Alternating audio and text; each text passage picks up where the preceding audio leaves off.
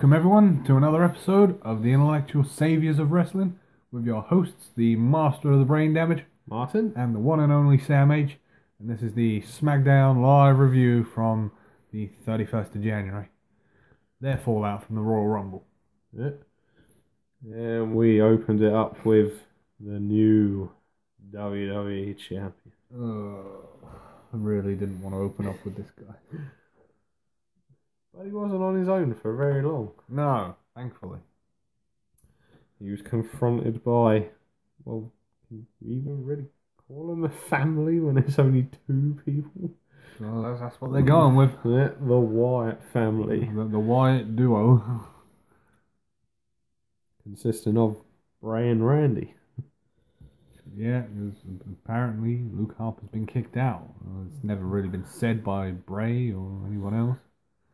Yeah, and though, and uh, funny enough, you mentioned Luke Harper, and he then appeared at some point, and uh, it was then made the match for later on in the night. Tag team action between Randy and Bray versus John Cena and Luke Harper. Yeah, in fact, actually, that match was next. yeah, yeah. Damn it, they're, they're at it again. Oh.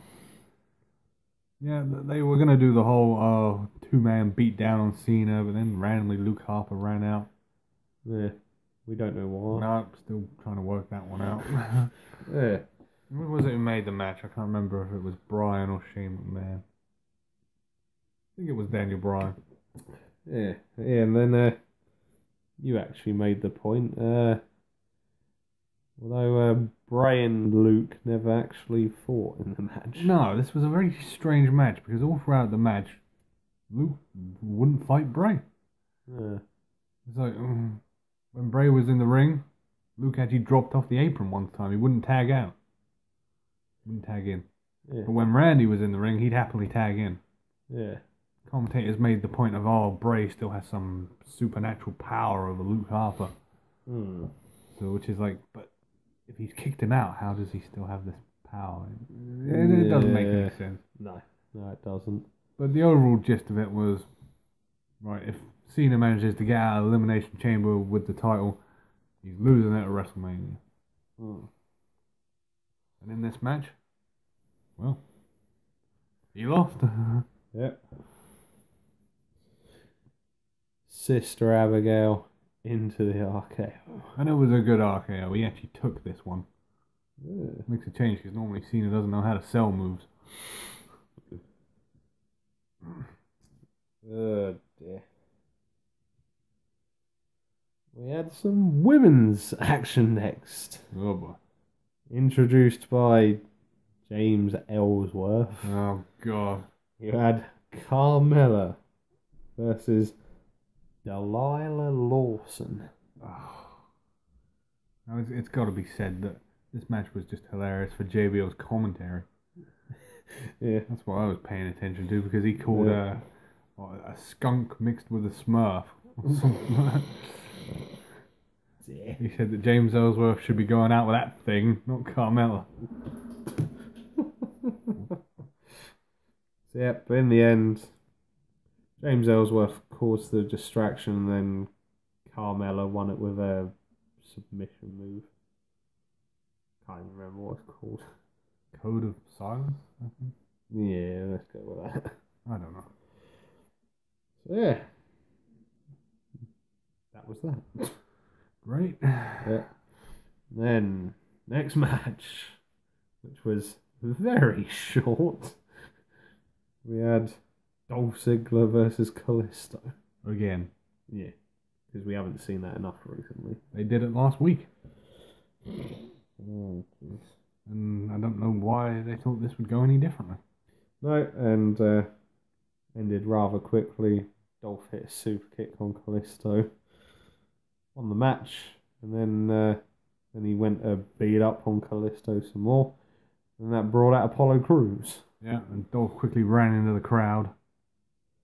Yeah. And went, no, no, not happening like this. So yeah, hopefully this gives Apollo something to do. Yeah. Yeah. And then we had some more women's action. This time it would be Naomi and Becky Lynch versus Alexa Bliss and Mickie James. And it was announced prior to this match that because of the events of the Royal Rumble, which apparently was Naomi pinning Alexa Bliss, Yeah. I don't know, I didn't watch it. At the Elimination Chamber pay per view, Bliss will be putting her title on the line against Naomi. Yeah. And this pretty much ended the same way the Rumble match ended. Naomi picking up the pinfall over Alexa Bliss.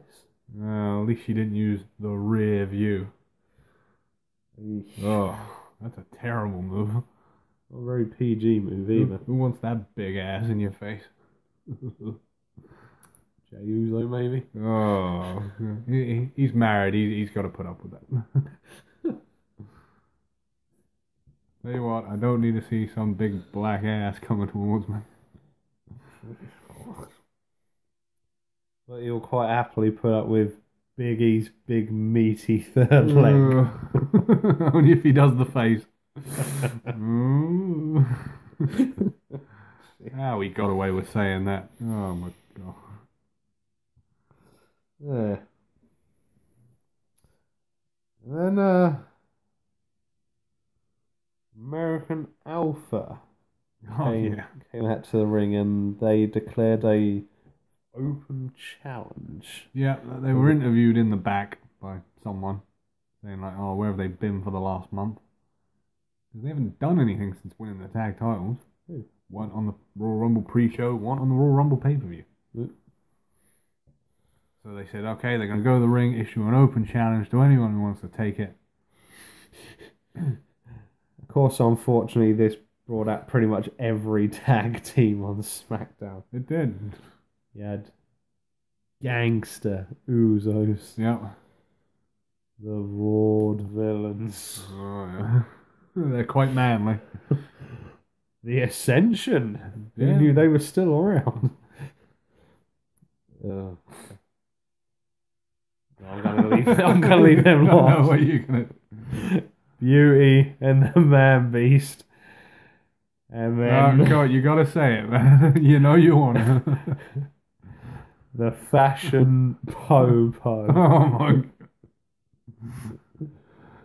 Oh dear. terrible. Breezango. Yeah, and uh, this match even ever start? Wasn't even no, it start? wasn't even declared a match. They just all fought each other. Yeah, it just ended in a big old brawl, and I think it was American Alpha and Slater and Rhyno were the last two teams in the ring. Yeah. It wasn't even announced as a match.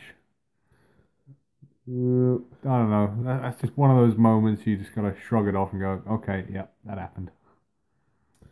Then we move on to our main event, which was made earlier on in the night backstage. Oh yeah, yeah, I remember this one. You had the Intercontinental Champion, Dean Ambrose, against the former champ that runs the camp, It's okay, man. It's okay. You'll win it back. AJ Styles.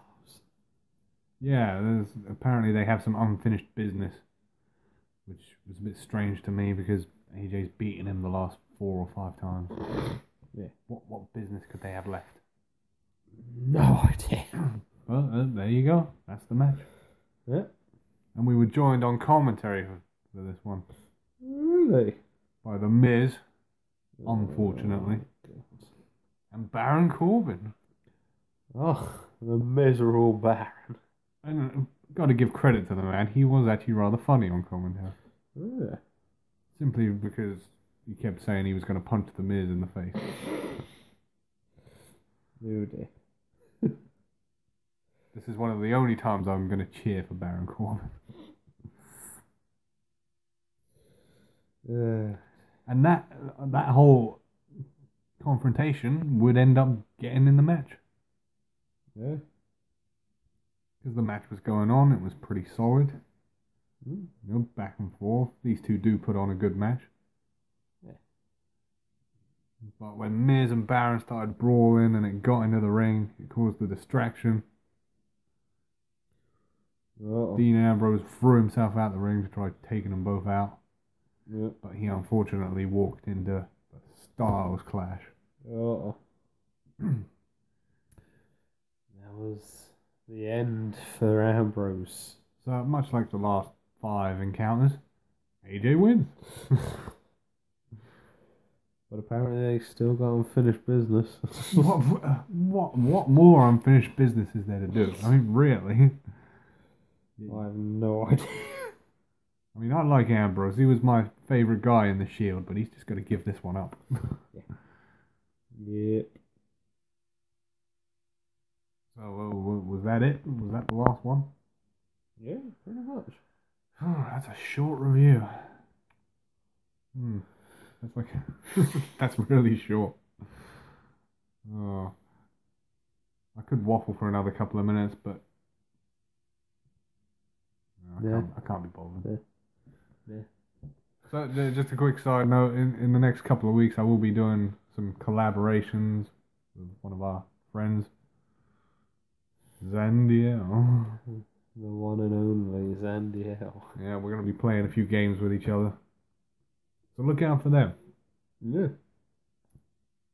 On a console, not with one another, No. just to clarify. No, we're we're not. we don't do that. so yeah, I'm not sure what he's got in store for me or me for him, but looking forward to it. Yeah. So, from your hosts, the master of the brain damage Martin? and the one and only Sam H, we will see you on the next one. Goodbye and good night. There.